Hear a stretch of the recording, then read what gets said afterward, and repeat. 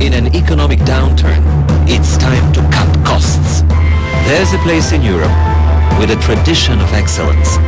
0% tax on retained earnings, 10% corporate and personal income tax, skilled workforce, 430 euros average gross monthly salary, macroeconomic stability, excellent infrastructure, EU and NATO candidate country, free trade access to European markets. Invest in Macedonia.